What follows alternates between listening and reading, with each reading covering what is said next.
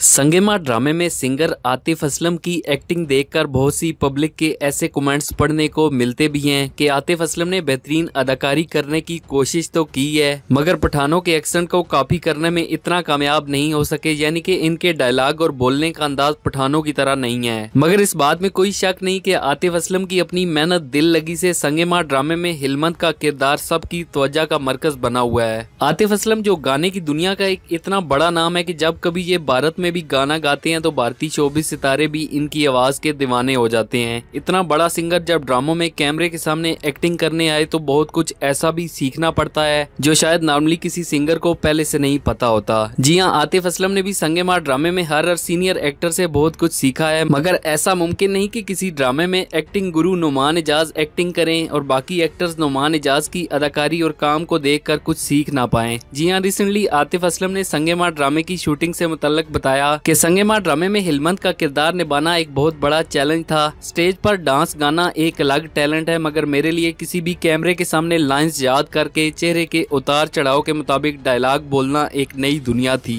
और इस नई दुनिया के एक्टिंग के सफ़र में नुमान एजाज मेरे उस्ताद हैं। संगेमा ड्रामा सेट पर भी नुमान एजाज से एक्टिंग के मुतलक ऐसी ऐसी बातें सीखने को मिली, जो किसी और अदाकार के काम को देखकर नहीं पता चलती। क्योंकि नुमान एजाज जब कभी भी कैमरे के सामने अपनी अदाकारी करते हैं तो देखने वाले वाले उनकी एक्टिंग में गुम हो जाते हैं। संगेमा ड्रामे में आतिफ असलम के नुमान एजाज के साथ कैमरे के सामने जो जो भी सीन्स शूट किए गए, उसकी रिकॉर्डिंग से पहले नुमान एजाज आतिफ असलम की बहुत मदद करते थे कि ये सीन आपने किस अंदाज में, किस तरह से मेरे साथ परफॉर्म करना है। सो मिलते हैं एक नई वीडियो के साथ, नए टॉपिक के साथ। तब तक के लिए अलाफिज